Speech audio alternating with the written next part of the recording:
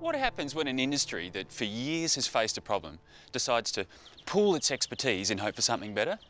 In a word, innovation. You may or may not know, but recently that's exactly what's happened to the plumbing community. The problem?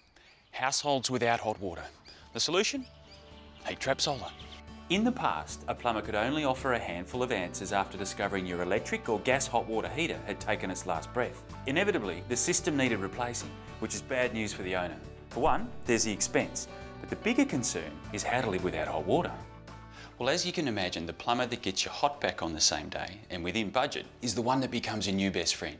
And although solar is one of the best ways to reduce your power bill by replacing gas for gas, electricity for electricity, there's no lengthy waits. To change to solar, for example, could mean days battling cold showers and dirty dishes. To solve this conundrum, Plumbers united and developed the Heat Trap Solar range, one of the most energy efficient systems on the market. And not only is it environmentally friendly, I reckon it rates in the looks category too. Aesthetically pleasing, some might say.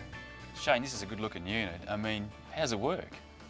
Well, Dan, what we've done is we've combined two technologies here together to create a very high efficiency system.